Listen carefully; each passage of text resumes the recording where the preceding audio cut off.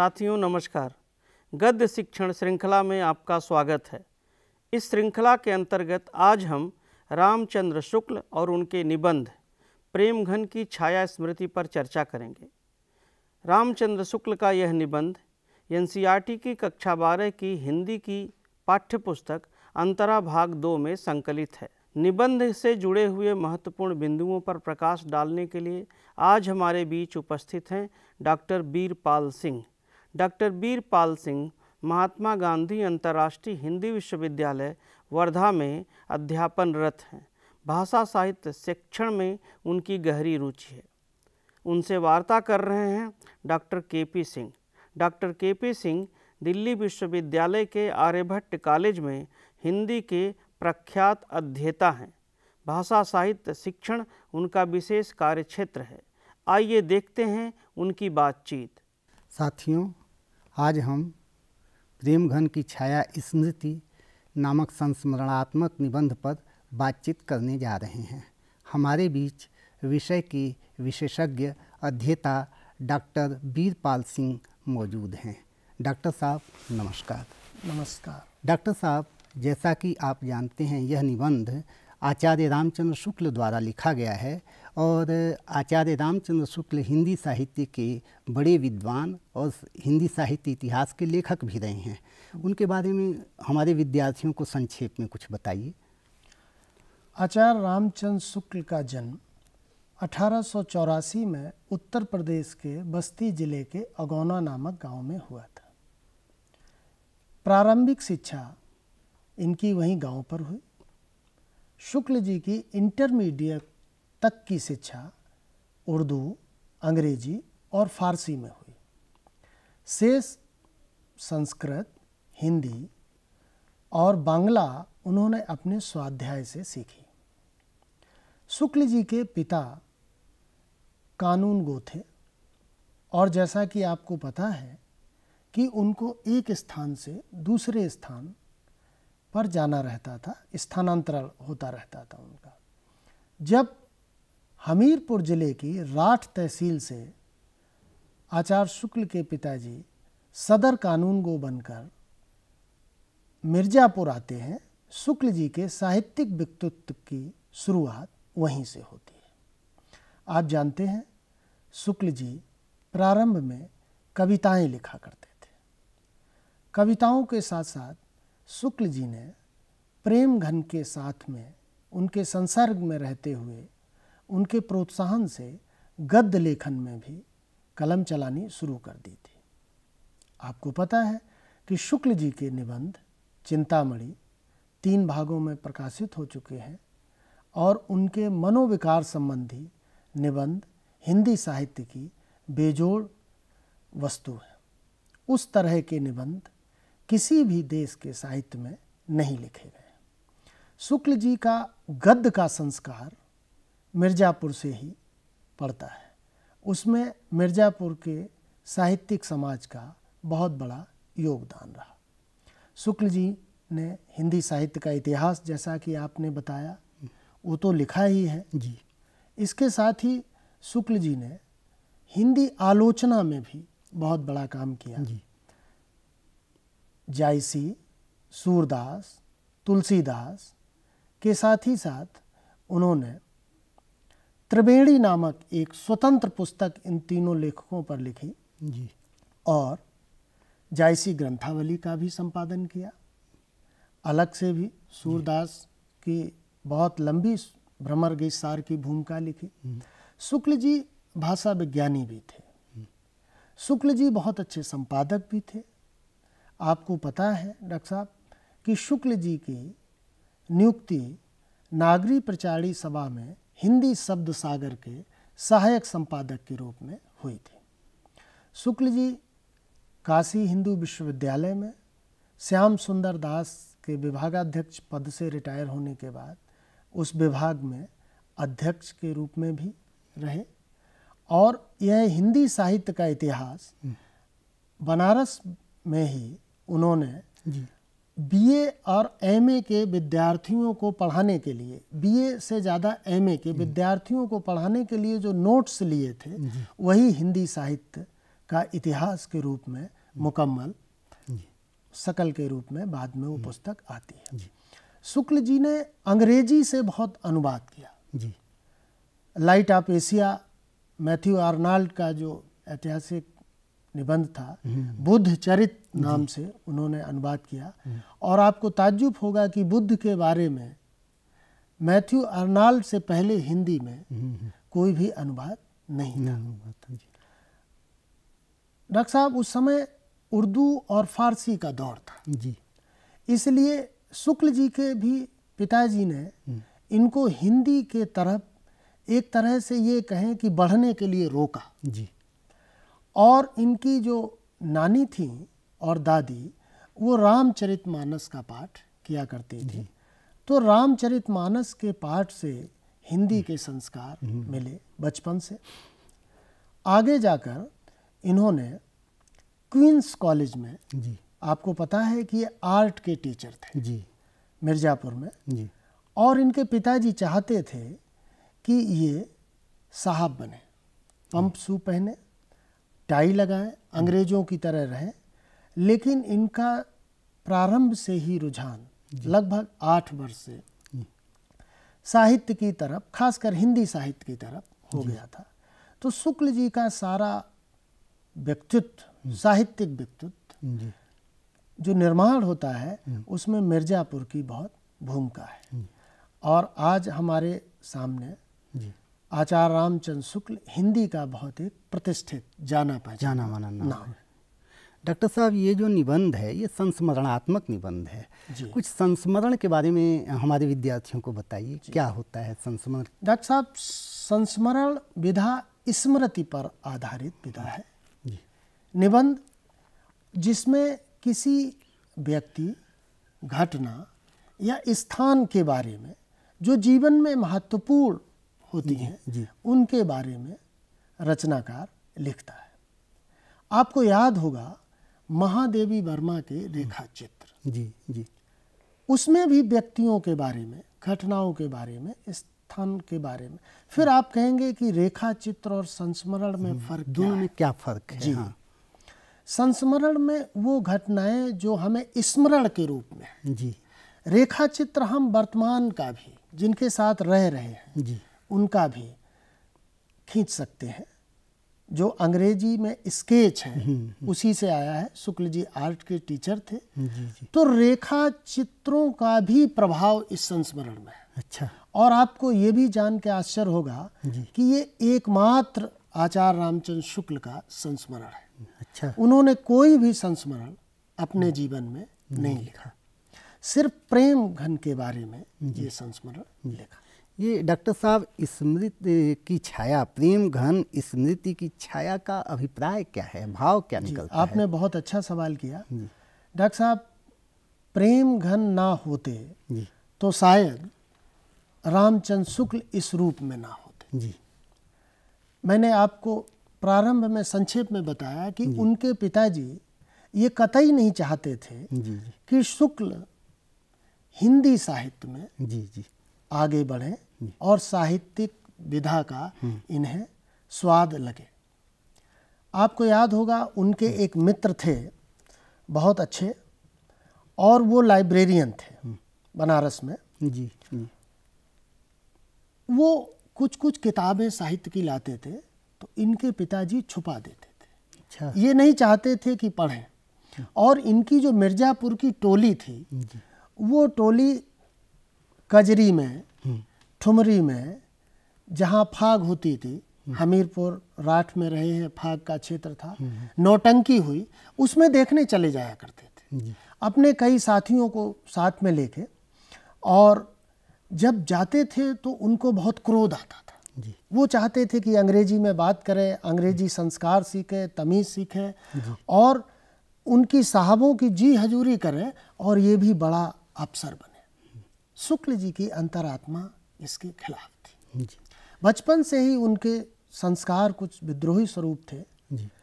प्रतिक्रिया स्वरूप इनके पिताजी कहा करते थे कि साला सोहदों में वशिष्ठ बना घूमता है।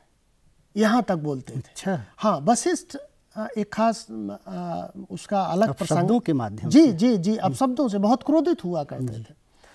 लेकिन उस शहर में मिर्जापुर में एक बहुत बड़े भारतेंद्र मंडल के जिनको चौधरी बद्री नारायण कहते हैं उनको प्रेम घन के रूप में लोग जानते हैं प्रसिद्धि प्रेम घन के रूप में मिली।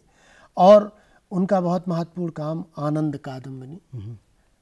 तो प्रेम घन के साथ रहते हुए डॉक्टर साहब इन्होंने सबसे पहले अपने कुछ साथियों के साथ उनके बारे में सुन रखा था।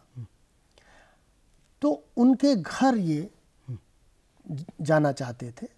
तो कुछ लड़कों के साथ लगभग डेढ़ किलोमीटर ये गए और उस हवेली को देखते रहे तो अबाक रूप से देखते ही रहे। अवध क्षेत्र के थे चौधरी बद्री नारायण व्यवसायिक व्यक्ति थे जी। बहुत रईस आदमी थे और पुराने जमानों के जो रईस थे उनके शौक भी थे। जी। तो हवेली में इन्होंने देखा कि बरामदे में एक व्यक्ति खड़ा हुआ है और उसके जो बाल हैं वो लगभग भारतेंद्र जैसे महिलाओं की तरह लठ घुंघराले बाल जिनको कहते हैं उस तरह थे और देख कर ये चले आए। उनके बारे में सुन रखा था उनके शौक के बारे में सुन रखा था उसी शहर में रहते थे। एक तरह से मिर्ज़ापुर शहर की संस्कृति और सभ्यता और उनका संस्कार प्रेम घन के इर्द गिर्द थी घूमता है। तो प्रेम घन की छाया जो इनके साहित्यिक संस्कार या बचपन के से आगे जब कैश्वर में पड़ी तो वो अमिट छाप। कहते हैं डॉक्टर साहब कि प्रेम घन ने ही इनको साहित्यिक संस्कार दिए थे। जी और जी। ये किस तरह से प्रेम घन के व्यक्तित्व से अपने आप को ये जोड़ते हैं उस तरह से ढाल लेते हैं। जोड़ते डॉक्टर साहब। प्रेम घन से तो नहीं क्योंकि प्रेम घन बहुत बड़ा व्यक्तित्व था। जी।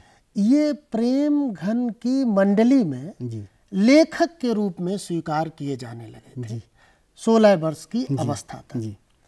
प्रकरण यूँ है कि एक बार कुछ निबंध नुमा गद्य की चीज़ थी तो प्रेम घन जी ने इनको दी और कहा कि आप इसको एडिट कर दीजिए। क्योंकि वो बहुत बड़े संपादक थे बहुत बड़ी पत्रिका थी।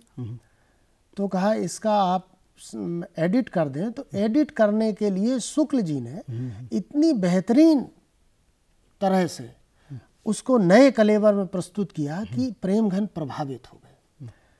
और जब कहा कि क्या आप मेरे पत्रिका में मेरे साथ काम कर सकते हैं तो 16 साल के लड़के को ये बहुत आश्चर्य हुआ कि एक इतना बड़ा रईस और इतना बड़ा प्रतिष्ठित साहित्यकार। भारतेंद्र मंडल के प्रमुख साहित्यकारों में प्रेम घन का नाम था। तो उनके आश्चर्य का उनके कुतूहल का ठिकाना नहीं रहा। सहर्ष उन्होंने और कविता के संस्कार प्रेमघन कवि भी थे। और प्रेमघन अपनी बोली के लिए उस जमाने में जैसे मैंने पहले भी कहा कि फारसी का दौर था उर्दू का दौर था। ये लोग हिंदी में निसंदेह इत्यादि। आदि शब्दों का जब प्रयोग किया करते थे तो इनकी बातचीत को और खासकर प्रेम घन तो वक्रोक्ति में ही बात किया करते थे। उनको लोग इनके परिवेश के लोग देखते थे सुनते थे अजीब तरह से देखते थे। जैसे समय के साथ आजकल यदि कोई निखालिस फारसी में बात करने लगे तो वो एक देखने का उसके तरफ़ आकर्षण का एक एक दूसरा नज़रिया होगा। क्योंकि उस दौर की भाषा थी। और ये इनका जहाँ घर था वो भी आज के समय में कहें तो जो सिविल लाइंस होती है वहाँ वकील रहते थे। इनके पिताजी खुद सदर कानून को मिर्जापुर थे तो वो रहते थे। लोगों का प्रतिष्ठित लोगों को जिसको आजकल सिविल लाइन कहते हैं जज रहते थे वहाँ रहते थे। तो वहाँ उर्दू और फारसी का ही चलन था। सिर्फ़ प्रेम घन के घर में हिंदी का चलन था। हिंदी के साथ इन्होंने संस्कृत के संस्कार भी वहीं से पाए। इनके वहीं एक मित्र जुड़े जो कि प्रेम घन के भी मित्र थे। अच्छा। सारे मित्र प्रेम घन के ही थे। प्रेम घन की छाया ऐसी थी कि आपको मैं बता दूँ भारतेंदु भी मिर्जापुर आया करते। अच्छा। बैलगाड़ी से बनारस वो आया करते थे।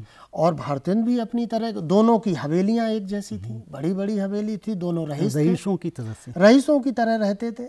कहा जाता है प्रेम घन के घर में भारतेंद्र के लिए एक अलग कमरा ही सुरक्षित रहता था। अच्छा।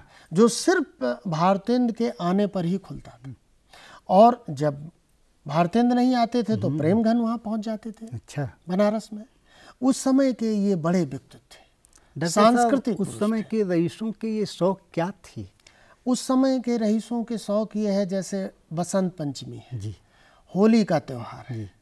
जितने भी त्यौहार हैं बड़े शौक से खुशी से उमंग से मनाया करते थे और उनमें चूँकि ये रईस लोग थे तो अनाप शनाप खर्चा करते थे। संगीत का शौक था। जी। नृत्य का शौक था। और शुक्ल जी जैसा मैंने बताया टी आर्ट के टीचर थे तो कलाओं के प्रति, खासकर ललित कलाओं के प्रति बहुत लगाव था। नौटंकी देखने जाया करते थे। जो लोक जो लोक के फॉर्म थे, यानी लोक कलाओं में विशेष रुचि थी, जबकि पिताजी के संस्कार अभिजात थे।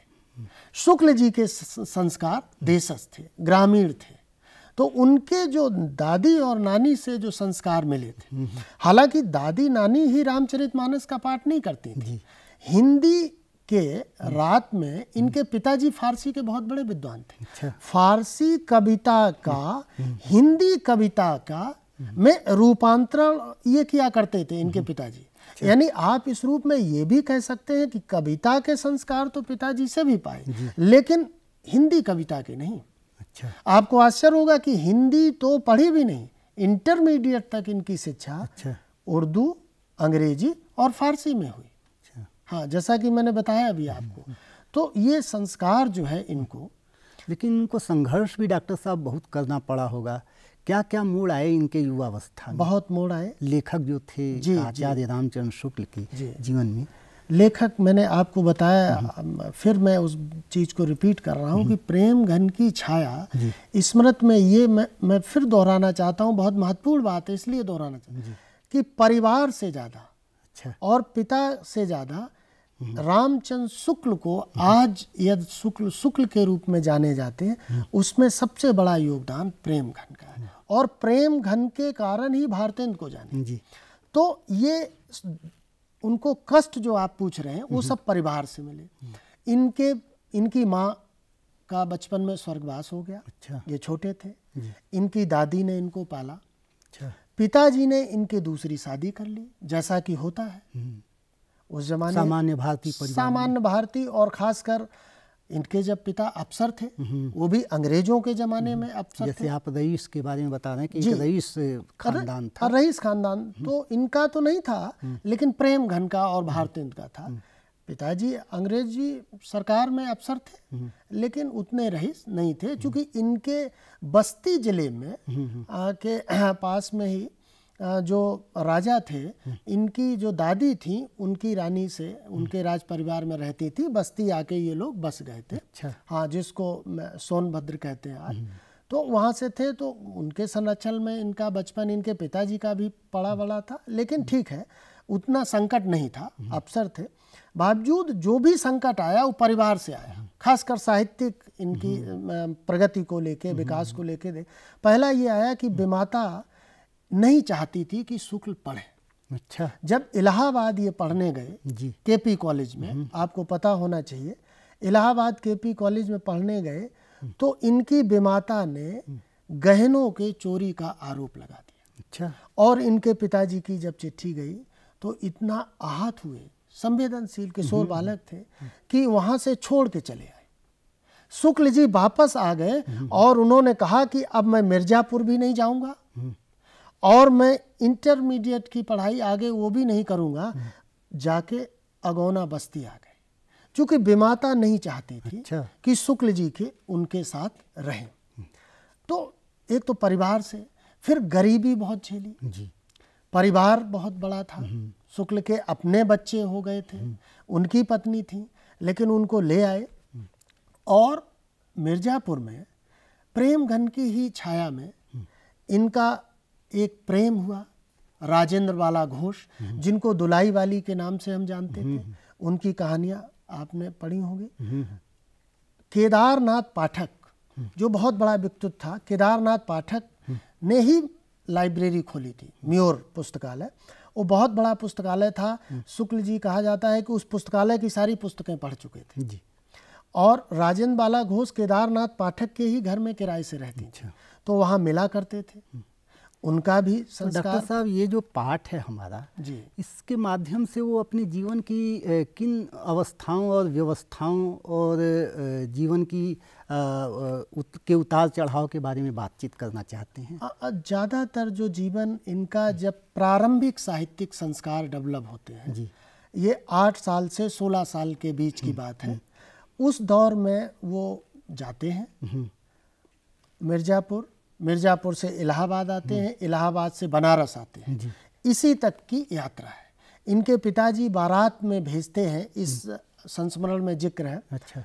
बनारस ये अपने एक आदमी के साथ भेजते हैं। तो बनारस में जाते हुए वहाँ ये चौखंबा जाते चौखंबा से आगे जब जाते हैं तो एक हवेली के आगे रुक जाते हैं और वहाँ से इनको केदारनाथ पाठक निकलते हुए थे। तो अवाक रह जाते हैं और पूछते हैं ये घर किसका है? तो बताते ये घर भारतेंद्र हरिश्चंद्र का। भारतेंदु मंडल से भी ये जुड़े रहे डॉक्टर साहब? भारतेंद्र मंडल जैसा कि मैंने बताया पूरा भारतेंद्र मंडल आया करता था। जी। वहाँ के लोग आया करते थे और बनारस में ही रहे। एक भारतेंद्र के बारे में बड़ी रोचक डॉक्टर साहब बात आपको बताते हैं। बचपन में ये समझते थे कि जो राजा भारतेंद्र हरिश्चंद्र है जी। और ये भारतेंद्र ये दोनों एक ही है। अच्छा। इन्होंने कभी देखा नहीं था। अच्छा। तो ये जो सत्य हरिश्चंद है उनको ही भारतेंद्र हरिश्चंद्र माना करते थे। अच्छा। हाँ वो तो वहाँ जब गए ये मिर्जापुर में पता चला और बनारस में रहे। आपको पता है कि बनारस विश्वविद्यालय में भी रहे और वहाँ भी उन्होंने साहित्यिक संस्कार बहुत बड़े अपने किए और प्रेम घन की छाया यदि ना मिली होती तो शायद रामचंद शुक्ल रामचंद शुक्ल। ना हुए होते। तो उनकी स्मृति ही चिर स्थायी स्मृति के रूप में डॉक्टर साहब आपने बहुत महत्वपूर्ण बातें प्रेम घन की छाया स्मृति संस्मरण के माध्यम से हमारे विद्यार्थियों को बताई। इसके लिए आपका बहुत बहुत धन्यवाद। साथियों अभी आपने रामचंद्र शुक्ल और उनके आलोचनात्मक निबंध प्रेम घन की छाया स्मृति पर विद्वान विशेषज्ञों की बातचीत देखी और सुनी। इस चर्चा के उपरांत आप लोगों के मन में बहुत सारे प्रश्न और जिज्ञासाएँ रही होंगी, जिनका स्वतः ही समाधान हो गया होगा। फिर भी आप लोगों के मन में कोई प्रश्न, कोई जिज्ञासा हो तो अपने साथियों से चर्चा करें, अपने गुरुजनों से संवाद स्थापित करें। साथियों, अब हमारा कार्यक्रम यहीं संपन्न होता है। अगले कार्यक्रम में हम किसी अन्य लेखक और उनकी रचना के साथ फिर प्रस्तुत होंगे। तब तक के लिए हमें आज्ञा दीजिए। नमस्कार।